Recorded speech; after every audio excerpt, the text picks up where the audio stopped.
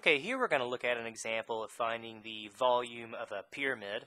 And the formula to find the volume of a pyramid or a cone, it says the volume equals one-third the base times the height. So we have to find the area of the base and simply multiply that by the height and by one-third, and then that'll give us the volume. So here we're going to find the volume of a pyramid. It's got a rectangular base. Uh, it's got dimensions of 2 feet by 6 feet and then a height of 10 feet. So I'll put my units in there at the end. So we have one third multiplied by the base. Well, since it's a rectangle, we'll just take the width times the length. So 2 times 6. And then we simply multiply that by the height, which is 10. So let's see. 2 times 6 would be 12. One third times 12 would be 4.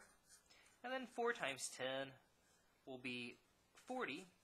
And just like that, we've got our solution. So since our units were in terms of feet, our volume will be in terms of feet cubed or cubic feet.